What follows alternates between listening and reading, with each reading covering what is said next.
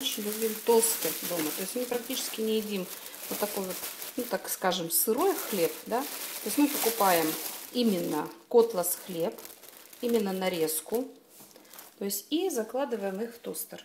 То есть мы вообще даже так всех своих друзей подсадили на эти тостеры, потому что хлеб здесь очень хорошо подсушивается. Вот я его не люблю вот в таком виде, а с точки зрения тоста я его с удовольствием съем.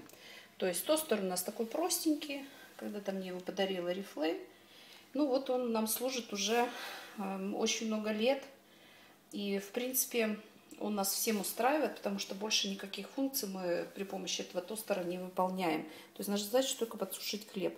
Подсушенный хлеб вообще как считается, более полезен, да, потому что менее подвержен брожению. Ну, где-то я читала, да, почему более полезен подсушенный именно хлеб.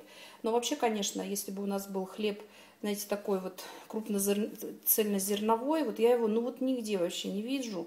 Однажды я покупала какой-то германский цельнозерновой, крупнозерновой или цельнозерновой хлеб, но он попал, ну, такой был отвратительный на вкус, что я не знаю вообще, как его есть. Ну вот мы таким образом выходим из положения. Вообще стараемся хлеба есть меньше.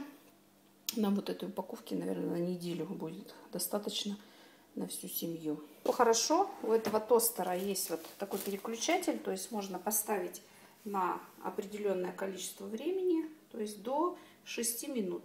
То есть до 6 минут. Ну вот у меня, по-моему, стоит на максимуме. Где-то 5 минут у меня. 5 минут у меня стоит. Там зарубочка такая есть. Единственный минус у него очень сильно выстреливает хлеб. И он бывает иногда попадает и на стол даже. Но если ну, хлеб подсушится, я его еще оставляю здесь, прямо вот на этом, на верхних, на верхней части тостера, чтобы он, ну, вообще был такой сухой, знаете, как сухарь. Поэтому меня процедура вот такая засушки хлеба, она длится достаточно долго.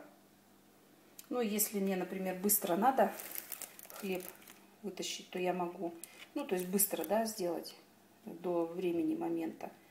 Я вот на эту кнопочку нажимаю, и он выстреливает.